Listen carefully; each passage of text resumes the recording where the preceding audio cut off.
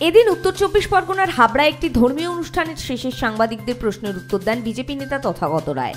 এদিন তিনি উত্তরবঙ্গে পুলিশের গুলিতে দলীয় এক কর্মীর মৃত্যুর ঘটনায় সাংবাদিকদের মুখোমুখি হয়ে বলেন, মৃত্যু তো পুলিশের গুলিতে ঘটেছে।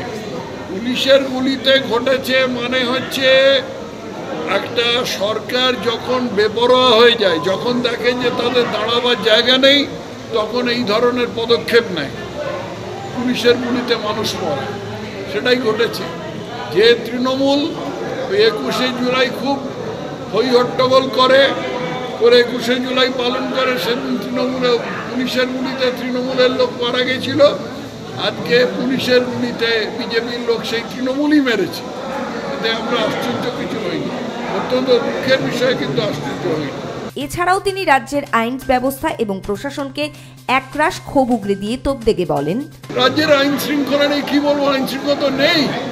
প্রত্যেক দিন তো যে কোনো কাগজের প্রথম পাতায় তো খুন আর ধর্ষণের খবর ভর্তি একজন সেদিন একটু হাসতে হাসতেই বলছিলেন যে, এখন কাগজে যেমনি খেলার পাতা থাকে, যেমনি বাণিজ্যের পাতা থাকে একটা ধর্ষণের পাতা থাকা উচিত আজকে পশ্চিমবঙ্গের আইন শৃঙ্খলার অবস্থা এই দাঁড়িয়েছে।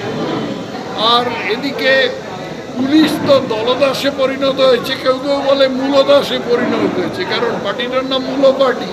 সেই জন্য দলদাসের জায়গায় পুলিশ আজকে মূলদাসে পরিণত হয়েছে। এটা অত্যন্ত দুঃখজনক, কারণ পুলিশের আনুগত্য থাকা উচিত সংবিধানের প্রতি, কোনো দলের প্রতি নয়। কিন্তু সিপিএম জিনিসটা চালু করেছিল।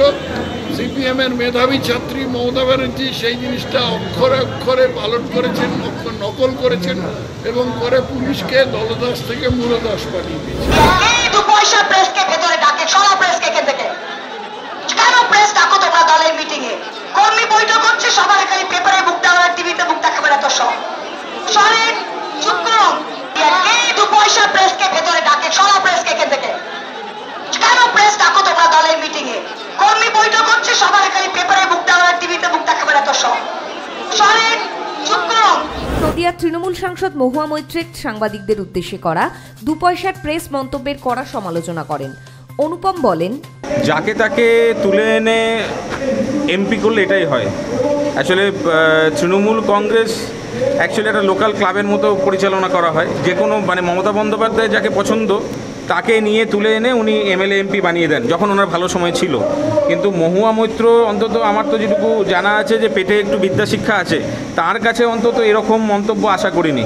এবং আমার তো মনে হয় যে সংবাদ মাধ্যমের সঙ্গে যারা যুক্ত, সমস্ত সাংবাদিক বন্ধুদেরকে বলব যে আপনারা কিছু এমন পদক্ষেপ নিন, যাতে অন্তত উনি ক্ষমা চাইতে বাধ্য হন।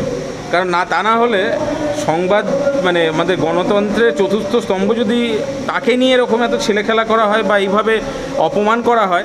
এদিনের এই কর্মসূচিতে উপস্থিত ছিলেন বিধায়ক সব্যসাচী দত্ত, রিতেশ তিওয়ারি এবং বিজেপির বারাসাত সাংগঠনিক জেলার সভাপতি শঙ্কর চট্টোপাধ্যায় সহ অন্যান্যরা। হাবড়া থেকে ভোলাদের রিপোর্ট, নোবেল বাংলা।